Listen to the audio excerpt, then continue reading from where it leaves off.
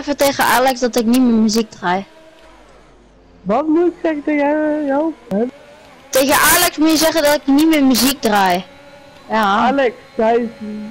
niet Wiepie zegt dat hij geen muziek meer gaat draaien. Witty witty.